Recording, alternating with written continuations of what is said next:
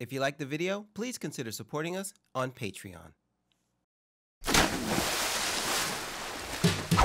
Welcome to Pull My Focus Adventures in the World of Digital Filmmaking. And today, I thought I would give you guys a small tutorial on how I do one of the keyframing sessions in one of our videos. So Frank sends me some stuff that I want to animate, and instead of going to After Effects, I'm going to do it all in Premiere. Now, this is not a beginner tutorial per se. This is a little more intermediate, but this should show you some cool concepts and ideas on not having to go into After Effects all the time and doing some simple animations within Premiere. Now this section right here is actually a smaller section of a video that I just shot that's almost two hours of me showing you entirely everything that I do to edit a Pull My Focus video. From where to get music, to how to put the music in, to color, to all these little keyframe effects and uh, different kind of things, different techniques that'll speed up your editing process which then this and this literally shows you how we go through our entire editing process here at Pull My Focus. Now, if you're a patron of ours, you're getting that right now. So just for a dollar a month, you can get some of these added benefits out of our channel. But for you guys, I'm pulling probably the meat and potatoes out of this video, which is the keyframing section to show you how to do simple animations within Premiere. So here we go, three, two, one, hit it. Take these letters. They're scattered about and have no meaning except chaos. Okay, so for this moment, we have he Frank is creating kind of this visual reference of stairs, and then the stairs come together, and then the stairs form stairs. Okay, so these three frames are just you know what it should be first, and then there, and then here, and and what part of the audio it should happen. So these are basically my you know my references. So I need to make this interesting. Now, one thing I would do every single episode we do, I try and do something in After Effects.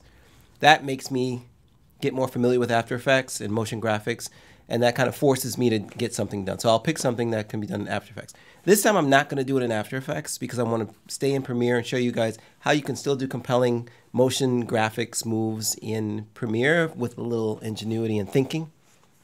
So we won't do that. Uh, let's see.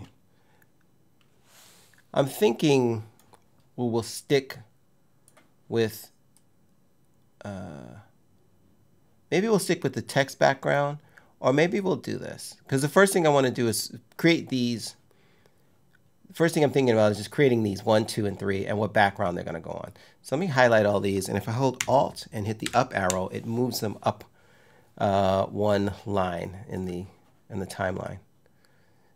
All right, and now I'm going to go to my selects, and that this is tricky because I have so many. Uh, I usually can look at two timelines at the same time, but where? What am I looking for? I just completely forgot. Oh yeah, this background. I need this background. So I'm going to copy it, come back to here, and when I use the up arrow and the down arrow, it jumps me from the uh, start of each clip. As long as this is highlighted and on, the track targeting is on, it'll move me, step me through. So I want to be here. Then I want to target. Uh, uh, yeah, that always happens. Then I want to target this track so that when I paste the clip that I just brought in, paste in there. And so now we have, that's my background, and I'm, I'm going to mess with it in a little later. But first it's just stairs, random stairs, right? So let's see. What has to happen is the word stairs first starts off scrambled, then it's then it floats into place as stairs, right? And then they stagger each, each other like stairs. Uh, but in order to create a little more movement than just static letters, I want them to kind of float, slowly rotate where they sit first. So let's try that. All right. So I want to think about this in a certain way. So I'm going to make each letter its own composition. So I'll show you what I mean. I'm going to go to a my selects timeline, which is kind of like my garbage timeline. This is my timeline that I can just do a bunch of junk on, and I won't uh, I won't affect my main timeline. So I'm going to grab this, a copy of that, and then let's just start putting the letters down. So S. S for stairs. All right. Um, we're going to make this bigger. Let's make it bigger. Let's make it, let's make it 300. Picking a number. Let's set the anchor point, which I can do by grabbing this little plus sign to right in the middle, right? So now when I rotate it, it rotates over its anchor point, mostly, right, for the most part. Okay, and then I'm going to center it up in the frame. And there's my S. All right, and I'm going to do the same thing for T A I R S. Um, let's see. I want to create my rotation animation and basically copy that. Yeah. So how long, let's see, how long is this clip here? It is five seconds. So let's just for S and G's make this clip five seconds. That's 10 seconds. There we go. Somewhere roughly around that. I'll make it exactly five seconds. You can tell that I was creating, uh, making it five seconds because when I, I can see duration right there. Yeah. So this is very organic right now, the way I'm doing this. And it's typically the way I'll, I'll do these episodes. I'll just figure out a way to organically make it. But the concepts are still there. So the first thing I want to do is I want to just rotate it. All right. And I want it to end, I want it to end as a regular S. Um, but I want it to begin rotated. So I'm just going to set my end, end frame right now. And at this level, I think I can use rotation and position here. So let's do that. Let's uh, keyframe rotation. I'm actually not going to mess with position and scale because they're going to say the same, rotation. Rotation ends here. Not yet, you'll see, you'll see. It's not at the end of the frame, but I'll drag it there. But I like to keep my keyframes at the end and the beginning, kind of inside the work area so I can get, grab them. And then I'm going to come back here. And let's just rotate it backwards a few so that when we go through it, it does this. Um, maybe slower, much slower. So instead of negative 324, let's go to negative 180. So that's a slower rotation. All right. That's it for that. Um, I don't necessarily want to ease out of this. I just want to start. So I'm going to have it drag that there. And I'm going to say ease into this point here at the end so that when you see it finally come to the end, it's it kind of softly gets there. Did you see how it kind of slowed down? All right. So now I have rotation on the S. So big deal. So what? You have a rotation on the S. Uh, that that uh, that anchor point is bothering me a little. I move my anchor point a little bit there. That's better.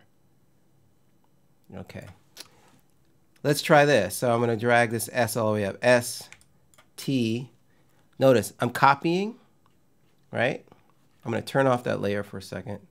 I'm copying. I'm highlighting it. And I'm putting a new letter. That's my T. I'm copying. Turn that one off. Also, you don't have to turn them off. You can just kind of stagger them. You can stagger them like stairs. S-T. This will be A. A. So if you watch, if I line them up again, I have three letters that are, oh, I gotta turn these on. Boop, boop. Blah, blah, blah, this will be I. Double click. I. This will be R. Double click R. And I already have I already have another S. All I need is stare. So great. I have five letters that are rotating in exactly the same way.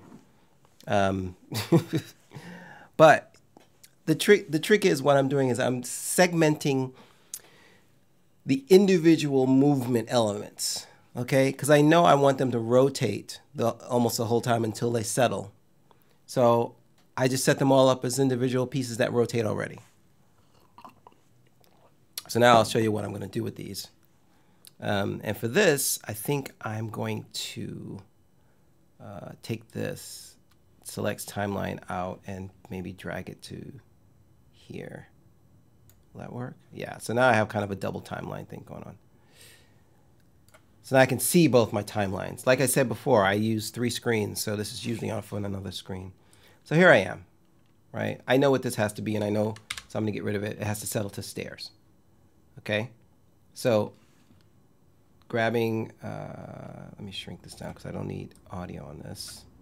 So here's my stairs. So I'll grab S-T-A-R-R and just drag them to here. Boom.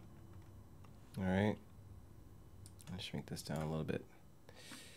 S-T-A-R. Good, good, great, great. Whatever. Who cares? Let's move these around. So I'm going to use the, I need one more S. I almost forgot. I'm going to drag all these up and give me my last S.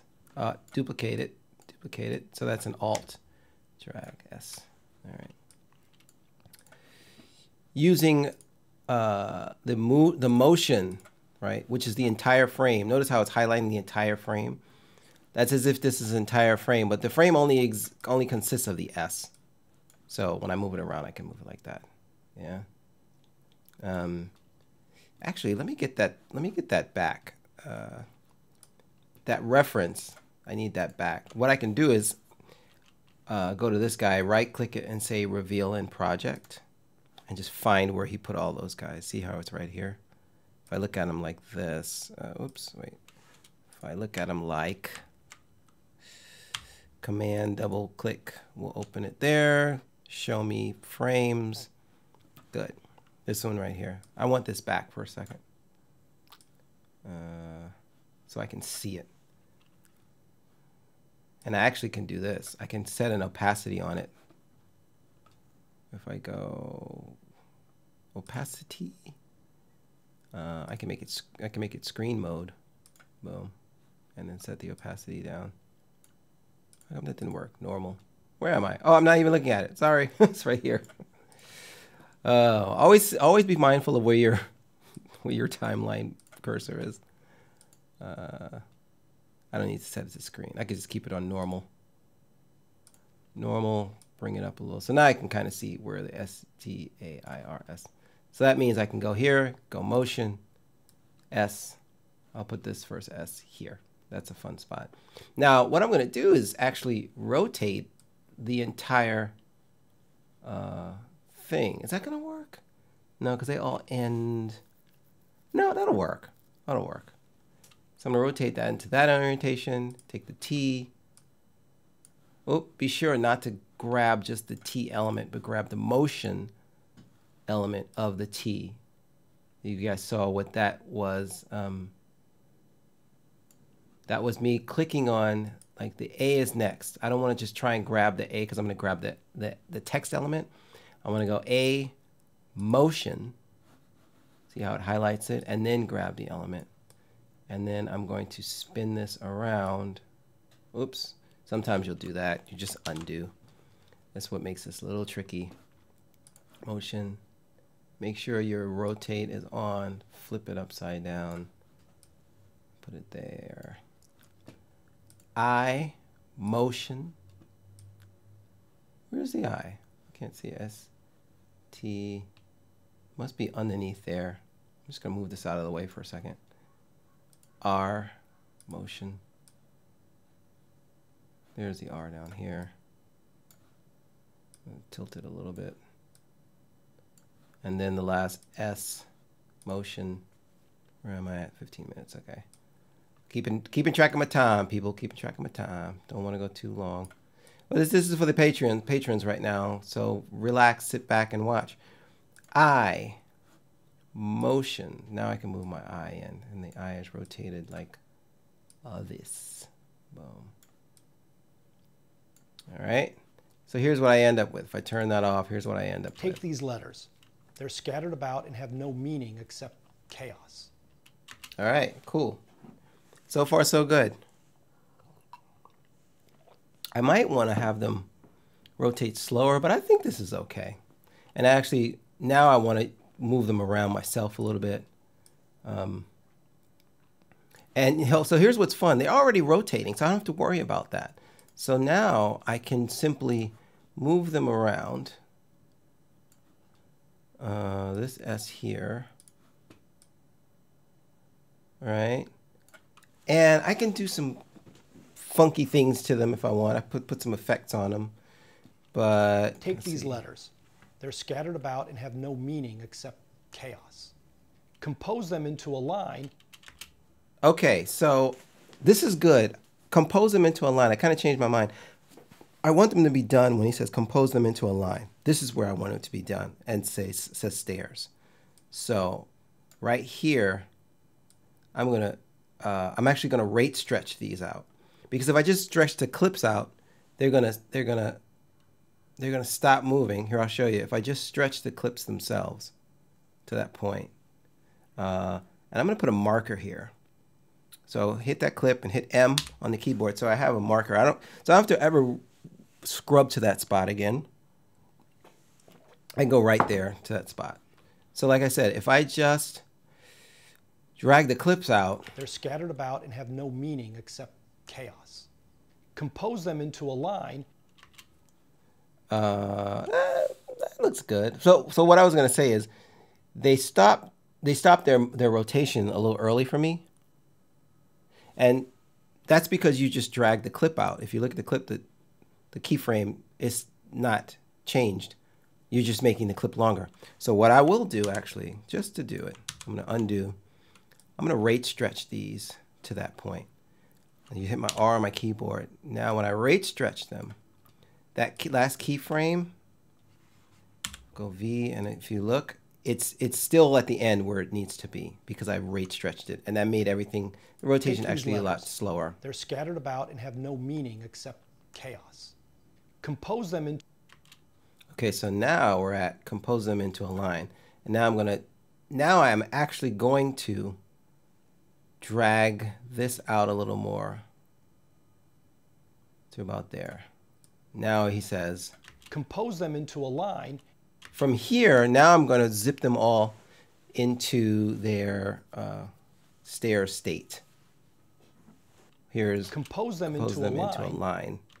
Compose them into a line. So by the time we get to comp, I should start to uh, uh, move them. So taking the first S, now I'm on motion again. I'm going to go position. That's my first position.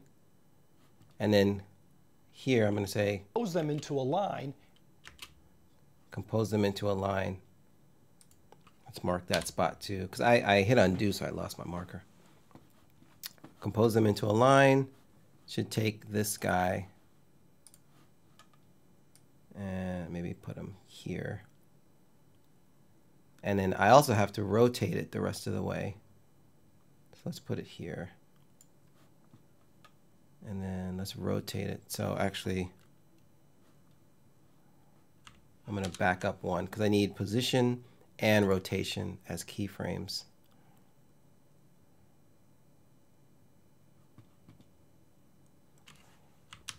That's going to sit here.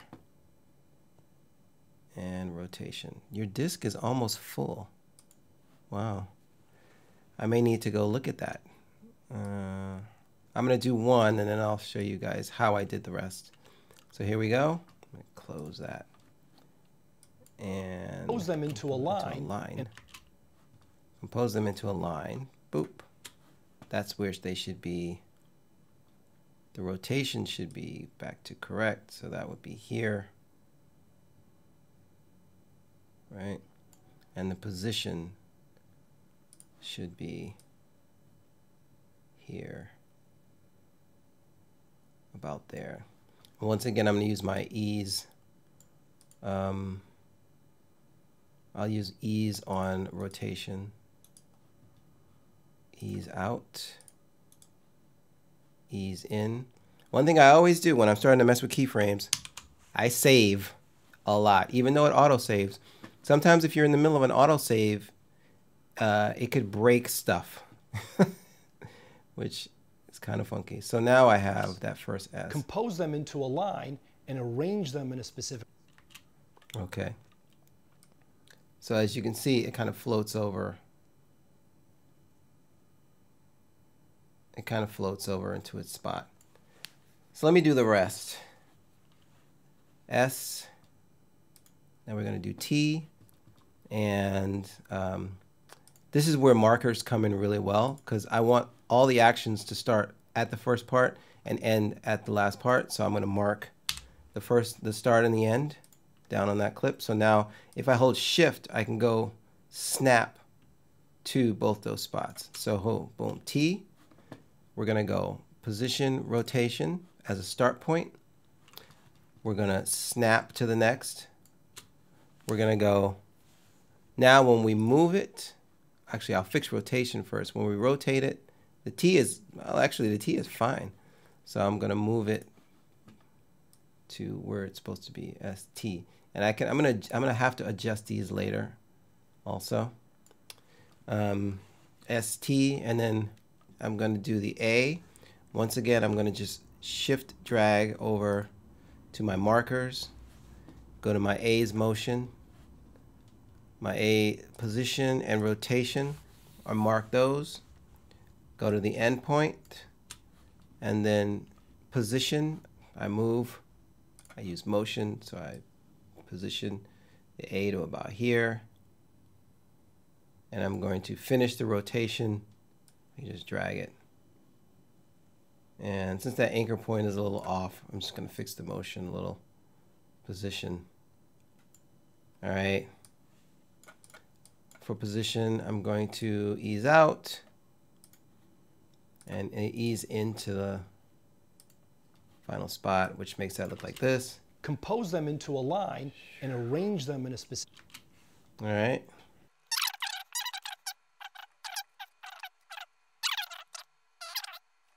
So as you can see, it's not exactly centered. And there's an easy way to fix this also. It just uh, it just means it just means creating a comp cre uh, creating another composition out of this whole thing, creating a nest, what's called a nest so I can move them as a group. So now here's what we got. Take these letters. They're scattered about and have no meaning except chaos. Compose them into a line and arrange them in a specific order, and they form a word with meaning. Now arrange them in a way that conveys additional meaning. Okay, so we're pretty much there. Stairs. We have more keyframing to go, and I do want to fix fix up some stuff. So let's fix up the T. And that's the final location of each, each one. So the final position of the T. You got to make sure that you're you're clicked in all the right spots. Everything has to be the right, like the right click. I'm gonna make these put these a little closer to each other. And then the A, because then you're setting the wrong um, key points. You're creating new key points if you don't make sure that your key point is where you want it to be when you want to move your point.